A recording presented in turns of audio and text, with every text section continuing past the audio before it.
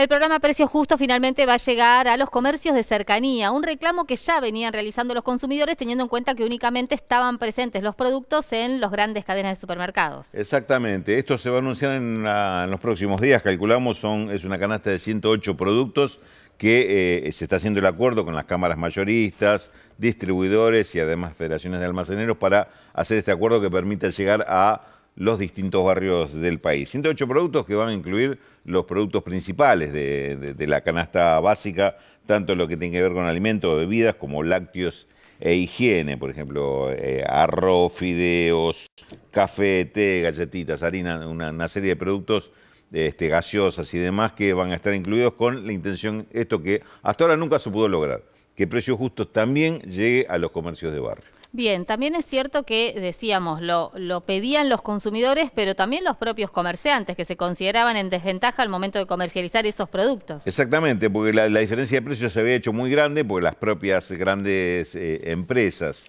industriales eh, distribuían a un precio diferente, donde tenían que cumplir con precio justo y allá donde no estaban controlados. En este caso, no solo el precio va a ser igual, sino además va a tener la misma pauta, del 3,8% mensual de aumentos, es lo que se está planteando y va a eh, comunicar la Secretaría de Comercio en, las próximas horas. Eh, repito, va a ser no sobre el total de precio justo que rige en las grandes cadenas, sino un listado corto de 108 productos. ¿Y eso se sabe más o menos cuándo va a entrar? Mira, se supone que eh, antes de este fin de semana se va a dar a conocer, con lo cual eh, en este caso hay que esperar quizá unos días más para poner en vigencia esto, dado lo que significa la logística de la distribución de estos productos. Pero la, intención es que ya en el mes de junio, si no es desde el primero, en los primeros días ya esté vigente. Y lo que decimos siempre, ¿no? Que los comerciantes y las grandes cadenas eh, alimenticias cumplan con los precios y con los aumentos. Gracias, Rulo. De nada.